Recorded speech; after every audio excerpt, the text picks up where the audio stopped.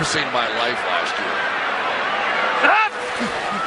The 30-yard line, Dalton firing. Eifert able to hang on. Cross midfield to the 48-yard line. And Jonathan Joseph took the worst of that. The former Bengal. Game needed all this. Takes courage to be a tight end in this league. Going down the middle, you know what's coming. Former Bengal Jonathan Joseph delivered the shot.